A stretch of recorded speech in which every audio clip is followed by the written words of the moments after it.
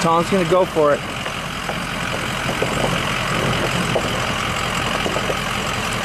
The water's only six or seven feet deep.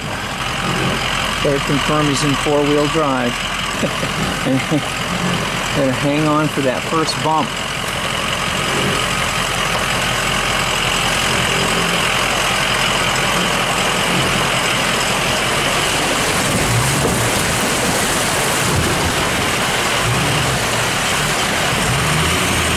Don't stop. Don't stop.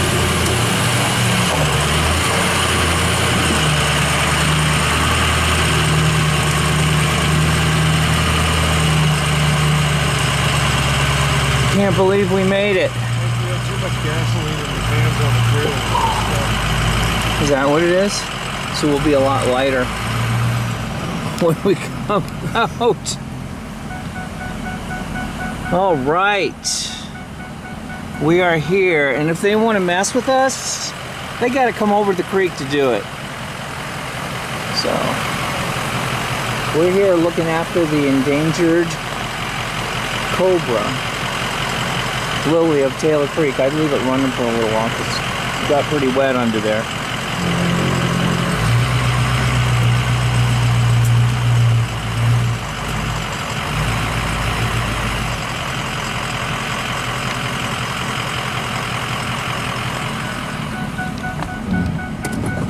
Nice job, Tom. Nice job, Dave. And the trail is blocked by this huge burned tree. Huge.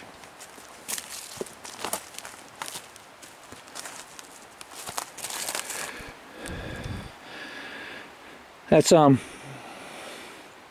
five feet right there to where my hand is. Five feet.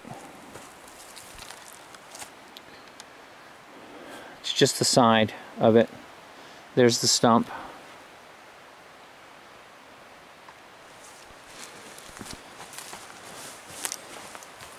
The stump is, what do you think? Six feet? Easy. At least six feet in diameter. Here it is from the other side. So the roots are burned out. It's burned all the way through the stump and all the way through the roots. So Tom's Tom's hitting the hitting the ground right here where I'm pointing. He's hitting the ground. It looks like ground, but the but the bar goes all the way down because there's a burned root under there. A huge burned root. So that huge burned root has probably been there for a long time. So we should dig it out and we should be able to get something approximating some virgin gravel from under these burned roots. I would think. And we have the sluice box set up down in the creek bed and we're filling it up with buckets, semi-classified. And then we're taking it down and throwing it in the little sluice box. See what we get.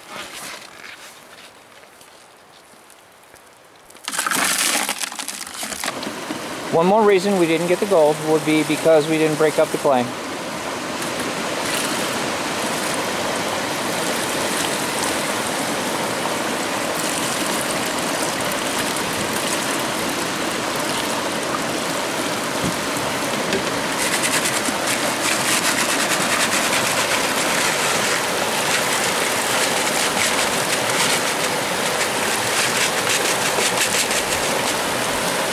Sluice box that Tom brought has no carpet in it.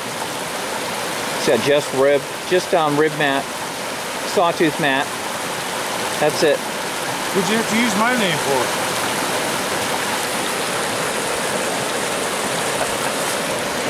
I found it.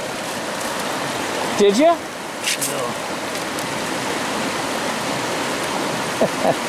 No. anyway, we're digging down behind that tree and pulling this material out and getting as deep as we can. And, you know, it still looks like red loam. So we're not, we're not to the river gravel yet.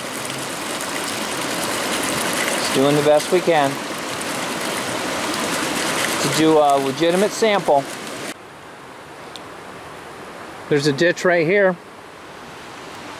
just above the creek. Ditch goes back, back a ways, and then it connects to another ditch, which goes out across there. So that ditch uh, we were looking at is right over there, and then here's where the ditch splits off and comes down along here, and we're gonna we're gonna trace that out and see where that water was going.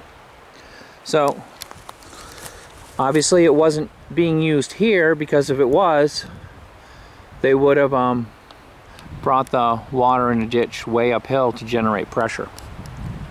So because this ditch is at the same level as the creek, pretty close, we know this water is going somewhere else to mine.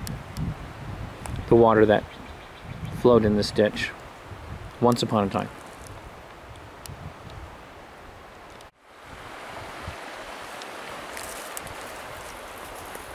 This looks like tailings here. All subangular tailings, meaning they came from the mountainside. They're not, not river rounded. I don't see any river rounded gravel at all. Down here I see a little bit, a little bit of rounded gravel. A couple pieces look like they've been tumbled. But it's definitely all angular hillside, no very little rounded stuff, which is, and you know what? We want to see rounded river rock.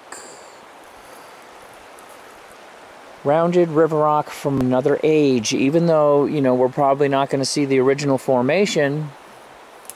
Trust me, the rocks will still be round and smooth. So we're still looking.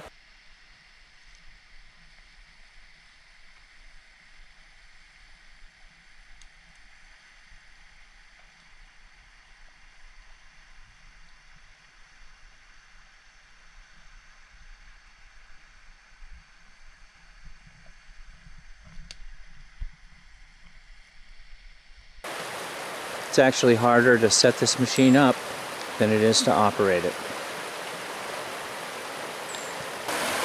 We should really only need to um, get the water into that test port. It should pump from there, should prime from there, we'll see. Pretty much all exposed bedrock. All the way down that north side.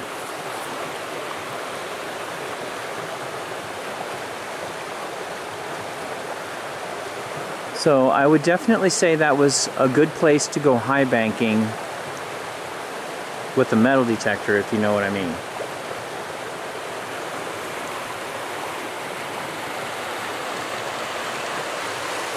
Anywhere on that bank and on the bedrock be a great place for nugget shooting.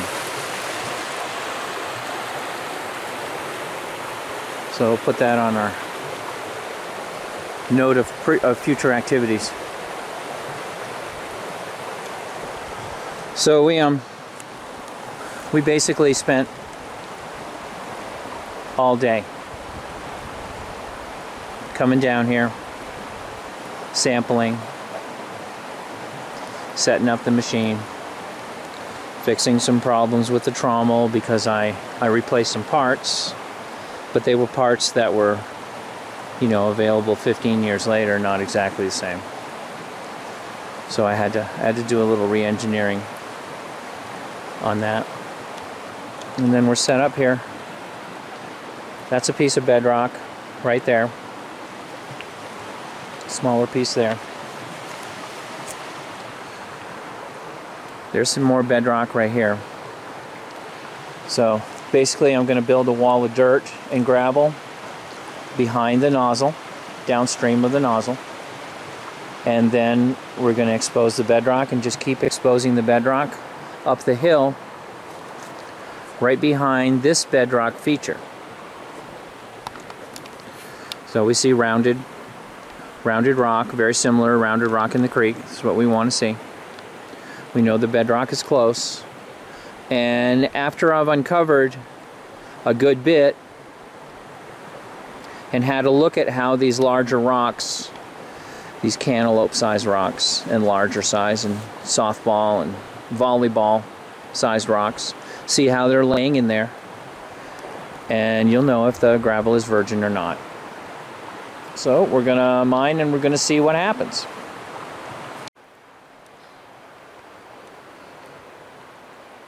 This was a big tree. A big tree that burned.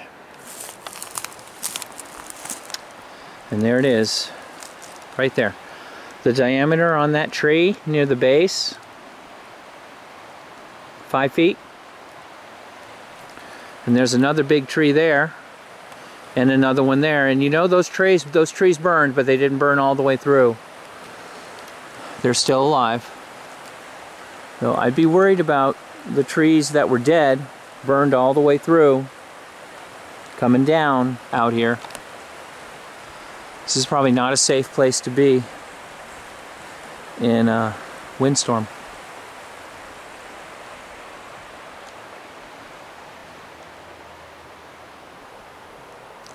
Blizzard or any other kind of inclement weather because there's a lot of big trees that are burned through at an unknown amount and there's roots that are burned all the way through so yesterday um, we um, found one of those big roots that had been burned all the way through. And we checked below it and underneath way too many feet of red loam, we did find river gravel.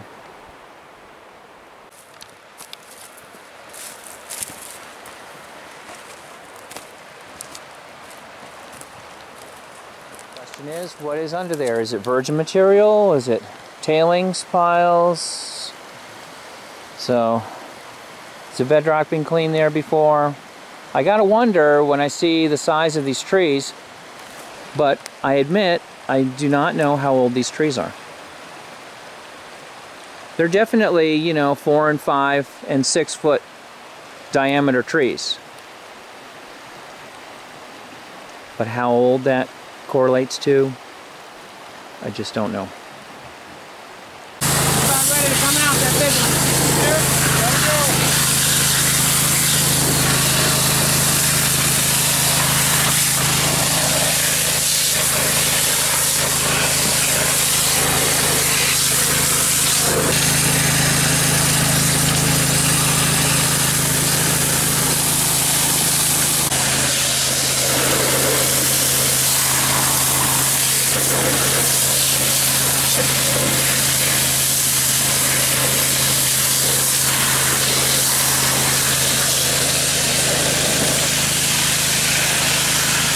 Tom's got the technique down with the rake.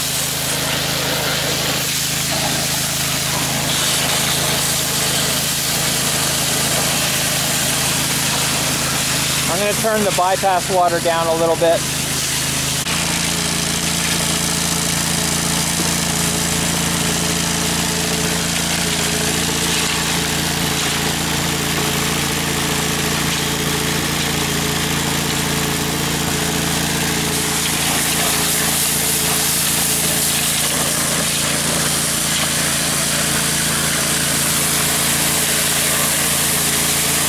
Started today at 11:30.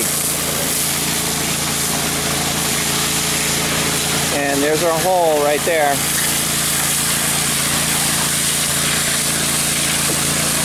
Not too shabby. Some of the gravel is cemented tighter than other parts. Some of the stuff on the bedrock definitely some of the material right on top of the bedrock was definitely put there by stream action. It's not somebody's old tailings.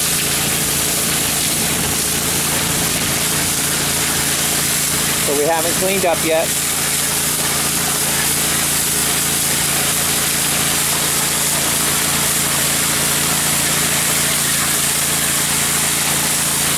We're not going to clean up until tomorrow at noon.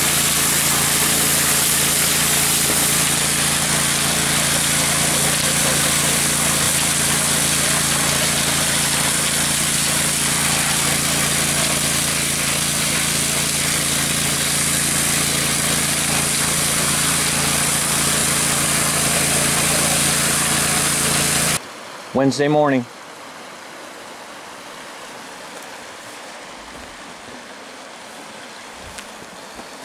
Here's our hole.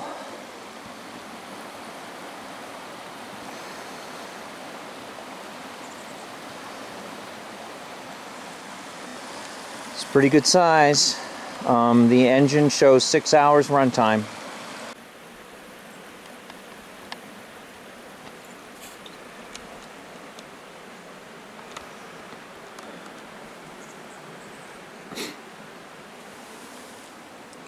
All those rocks look like they're laying the right way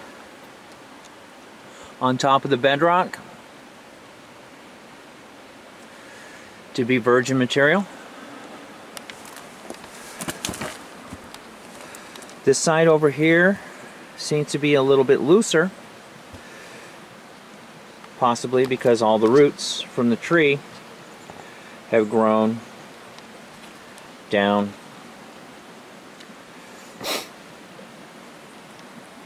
through the gravel and pushed it apart a little bit.